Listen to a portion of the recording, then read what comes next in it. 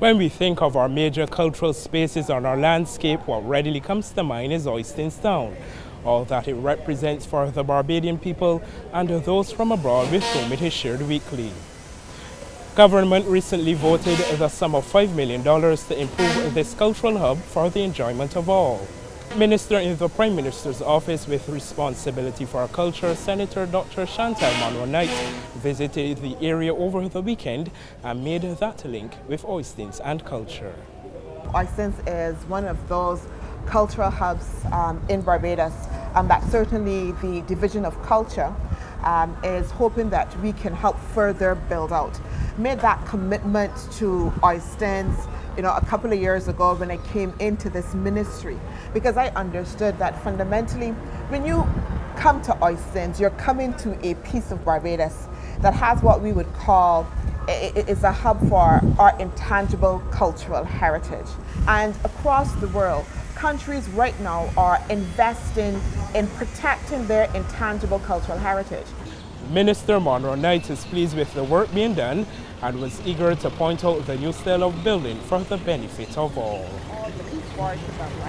Um, these renovations are going to last throughout a period of time. One of the things that the government is doing um, is making sure that within Oistins as well, we're building what we're calling climate resiliency um, as well. So when we talk about upgrading the stalls, etc., it's not just for now, but we recognize that also as well we have hurricanes coming, storms. So we want to make sure that we are then able to also help Oistins as well to, to, to be able to withstand that. Chairman of the Oistins Bay Garden Committee, Kimar Harris, supports the climate resilient style of building and pointed out an area that will benefit directly. The vendors were complaining for a while, especially in the hurricane season, about the significant rain because of the climate change and stuff that we're having, that they wanted additional covering. We didn't want to put the traditional tents because when you have also the same bad weather, persons is going to have to come here to take them down.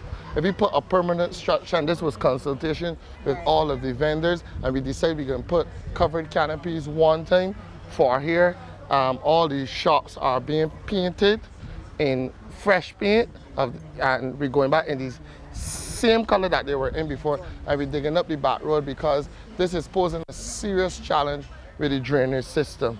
There are 32 shops now. 32, okay. So all the backs and all the fronts uh -huh. will have extra canopies. Those that we can't put canopies based on how it is designed, we will give them fresh tanks. So people see the upgrades and what is happening here and think it is about structures. What the government is doing and what the Division of Culture is partnering with um, the Ministry of Environment with, um, as they are responsible for the fish market, um, is really an investment in the people of Oistins.